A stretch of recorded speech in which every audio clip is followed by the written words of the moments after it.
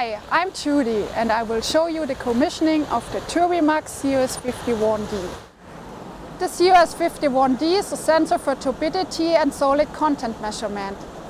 It's a MemoSense sensor and it can be used in a wide range of applications. For the commissioning of the CUS51D, no kits or consumables are required. For the installation of the sensor in a pipe, flowcell or basin, however, you need to consider the installation situation on site. When mounting the sensor in a pipe, it's important to install the sensor in places with uniform flow conditions and to avoid wall effects.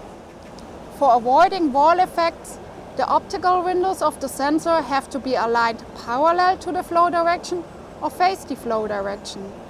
Also the diameter of the pipe should not be smaller than 100 millimeters.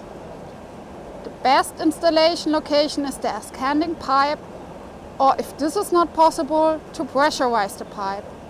Because the sensor must not be mounted in conditions where air bubbles or foam appears or suspended particles can collect.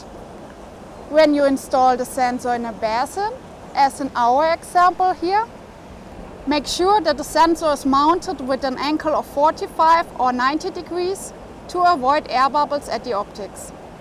Install the sensor so the optical windows of the sensor are aligned against the flow if there is any.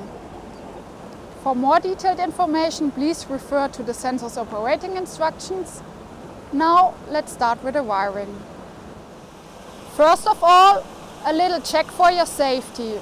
Prior to the wiring of the sensor, ensure that no voltage is applied. Thanks to the color-coded wires, the connection is pretty easy. The yellow and green wires are for the MemoSense communication.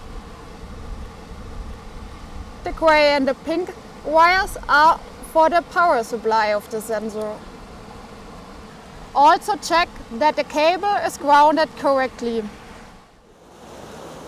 You see how easy it is to connect the sensor to the transmitter. At the end, make a quick post connection check. Look if the cable is connected correctly and no cable or wire is damaged. And now we are ready to power up the unit. As the CUS51D is a smart MemoSense sensor, it is recognized immediately by the CM44.